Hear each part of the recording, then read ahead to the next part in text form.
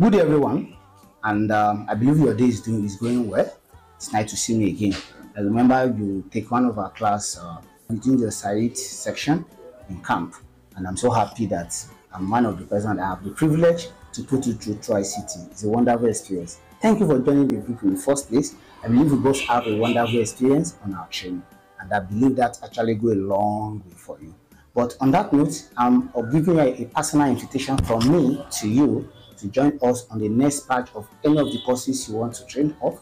Remember, in the group, we have actually dropped all the courses that we have currently and then the price tag. If you have any questions, you can actually follow the map we have in the group to just locate us. And um, I'm just giving you an, a prayer invitation to take any of the courses web design, private design, data analysis, computer proficiency, and so on and so forth. You have everything in your list. Uh, you already have over 80 to 90% off as a corper. And uh, being able to take you in camp is a privilege. What you have in this camp is just a play around of what you will get at the long run.